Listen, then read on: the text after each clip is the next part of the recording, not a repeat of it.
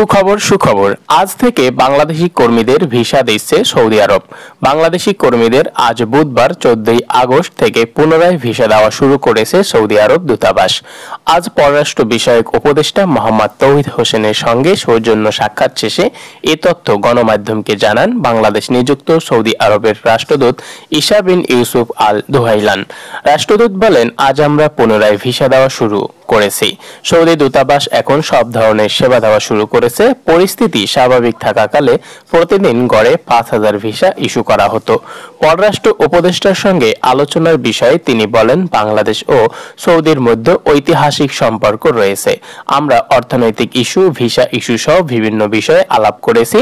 আমরা আশা করছি দ্রুতই বাংলাদেশে স্থিতিশীলতা ও শান্তি ফিরে আসবে।